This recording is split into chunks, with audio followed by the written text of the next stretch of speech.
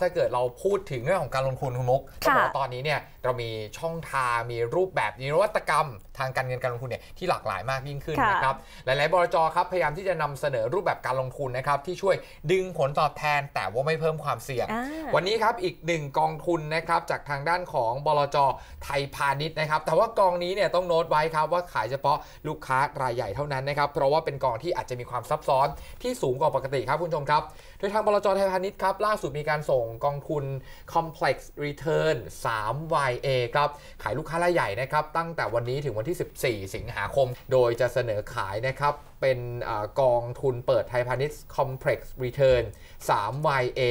ห้ามขายรุ่นทุรายย่อยครับ อายุกองทุนเนี่ยคือ 3 ปี มูลค่าโครงการ 3,000 ล้านบาทครับ เปิดขายตั้งแต่วันนี้ถึง 14 สิงหาคม ด้วยเงินลงทุนขั้นต่ำ 5 0 0 0 0 0บาท ซึ่งกองทุนนี้เนี่ยจะเพิ่มโอกาสสร้างผลตอบแทนในตลาดหุ้นยุโรปครับ จากการลงทุนในสัญญาวอร์แรนต์ที่อ้างอิงกับดัชนี Euro Stoxx 50 โดยกองทุนครับจะมีกลยุทธ์การลงทุนแบ่งออกเป็น 2 ส่วนครับ ส่วนแรกเนี่ยจะนำเงินต้นประมาณ 92%ของทรัพย์สินของกองทุนเนี่ยไปลงทุนในตราสารหนี้ครับ แล้วก็เงินฝากทั้งในแล้วก็ต่างประเทศที่ได้รับการจัดอันดับความน่าเชื่อถือในระดับ investment grade ขึ้นไป ซึ่งเมื่อครบกำหนดอายุกองทุนครับก็จะได้รับเงินลงทุนคืน พร้อมกับผลตอบแทน ซึ่งมีมูลค่าเทียบเท่ากับเงินต้นอีก